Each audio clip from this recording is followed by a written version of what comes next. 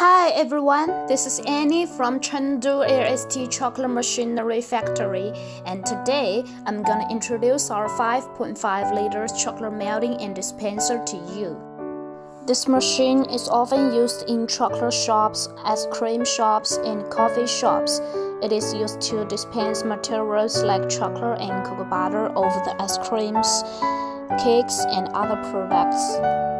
Besides, it also works with mold to make chocolate molding products like chocolate bonbons, chocolate bars, and something else. Now, I'm going to show you how to make chocolate bar with it. First of all, we need to turn on the power, then go to touch screen. Step 1 Choose language. Step 2 Choose operation mode. We need to melt chocolate first, so press the button on to turn on the heating. All the tank start to heat and melt chocolate. This process will take about 20 to 30 minutes. The chocolate is almost melted completely. We turn on the stern to accelerate the melting. And after chocolate is melted completely, we will start dosing.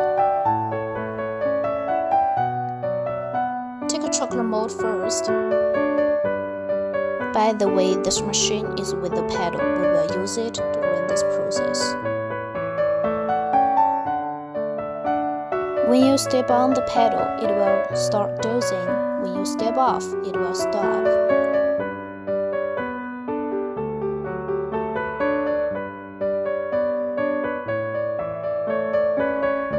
After dosing, we need to vibrate the mold to get rid of the bubbles in the chocolate, then put it into cooler and take it out to demold the chocolate after about 30 minutes. Finally, you get silky and delicious chocolate to enjoy.